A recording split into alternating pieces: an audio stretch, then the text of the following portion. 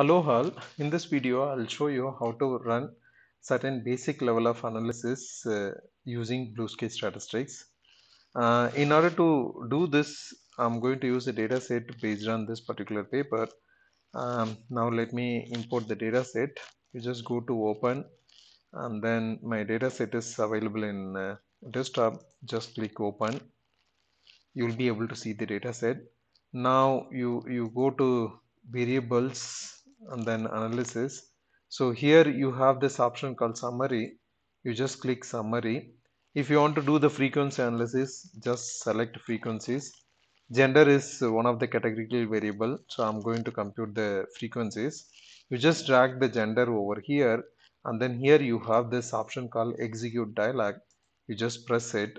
You will be able to get the frequency statistics i mean frequency analysis table so here it says that uh, minimum is 1 and then maximum is 2. It is giving uh, um, median, mean uh, and other things. The reason why system is creating mean, median is here I did not define this gender as a uh, character variable. So in order to do that, you just uh, move your cursor over here.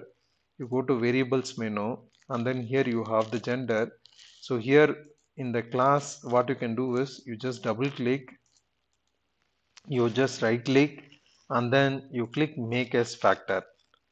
Now you come back to analysis and then you just do the same frequencies for gender and then you just execute the dialog now you will be able to get the frequency table. So this is how you can change certain variables into numeric or factor. For example here my marital status is factor. So let me make it as a factor. This education level is also a factor variable. So this is how you can define the variable type that is data type in BlueSky statistics. So similar to SPSS here also you have data view and then variables view. If you want to do something here you can do that. Uh, this is a way how you can uh, run certain basic analysis using BlueSky statistics. Now for the quantitative variables let me show you how to compute the summary statistics. So here if you click summary statistics you will get this dialog box for work family balance, I would like to get the summary statistics as well as job satisfaction and then family satisfaction and then life satisfaction. These are the average scores for each and every latent construct.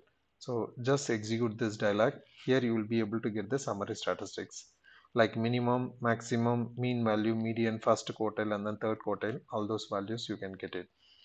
Uh, if you go to summary menu once again here you have the using describe function and then summarize function. These are the two different functions associated with uh, R packages. For example using describe function I'm trying to do the same thing here. For these four variables. Now you just look at the result. This is something different from the previous one. This is based on the psych package basically. Uh, here I have four variables mean, standard deviation, median, trimmed mean, uh, uh, sorry, trimmed median, and then mean absolute deviation, minimum, maximum, range, skewness, kurtosis, standard error, everything I could able to get it here. This is the way how you can do this.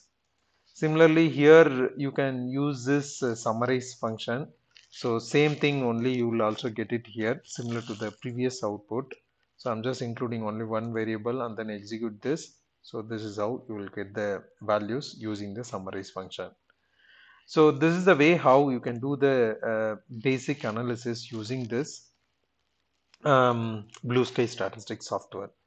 So in terms of running the other uh, sort of analysis, you please uh, see the uh, um, next videos that is available in this playlist. Thanks for watching this video. Thank you.